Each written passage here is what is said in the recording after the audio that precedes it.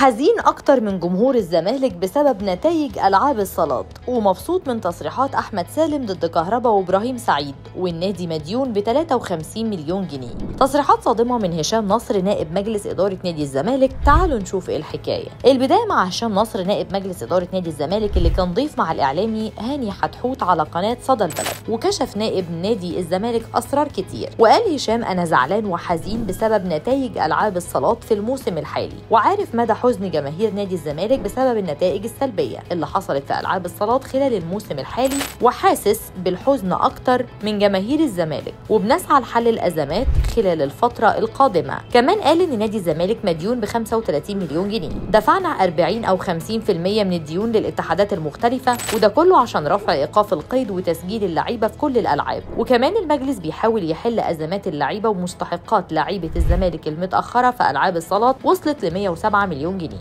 كمان رد هشام نصر على سؤال الإعلامي هاني حتحوت عن تصريحات أحمد سالم ضد كهربا. هل هو كان مبسوط من هجوم المتحدث الرسمي للزمالك بشكل قاسي على لاعب الأهلي؟ رد هشام وقال أنا كنت مبسوط من تصريحات أحمد سالم ضد كهربا وإبراهيم سعيد. يعني أي شخص ليل ونهار بيشتم شيكابالا شخصيا هقعد أتفرج عليه. يعني أي شخص ليل ونهار بيشتم شيكابالا شخصيا هقعد أتفرج عليه يعني. كمان كشف هشام نصر عن حقيقة عودة أشرف بن شرقي لصفوف الفريق الأول لكرة القدم مرة تانية. وقال مفيش أي تواصل حصل مع أشرف بن شرقي من الأساس في الوقت الحالي. والكلام عن توقيعه للزمالك غير صحيح تماما بسبب إيقاف النادي من القيد. أما من جهة تانية فبيستعد الزمالك لمباراته ضد سيراميكا في السابعة مساء. يوم الجمعة الموافق 14 يونيو الجاري على استاد المقاولون العرب بالجبل الأخضر. وبيحتل الزمالك المركز الثاني عشر برصيد 28 نقطة بعد ما لعب 17 مباراة حقق 8 انتصارات وأربع تعادلات وتلقى خمسة هزائم وسجل لاعبيه 26 هدف وتلقى تشيباكو 16 هدف. وفاز الزمالك على الاتحاد السكندري بهدفين دون رد بالجولة الأخيرة. في الدوري خسر سيراميكا من إنبي بثلاث أهداف مقابل هدفين في نفس الجولة. وتنقل قنوات اون تايم سبورتس مباراة الفريق الأول لكرة القدم بنادي الزمالك مع نظيره فريق سيراميكا. وبيستعد الفارس الأبيض بكل قوة علشان يرجع تاني لمنافسات بطولة الدوري تحت قيادة البرتغالي جوزيه جوميز استعدادا لخوض مباراة سيراميكا بالدوري المصري مستغلا فترة التوقف الدولي. بسبب تجهيزات المنتخب الوطني لخوض مباراتي بوركينا فاسو وغينيا بيساو.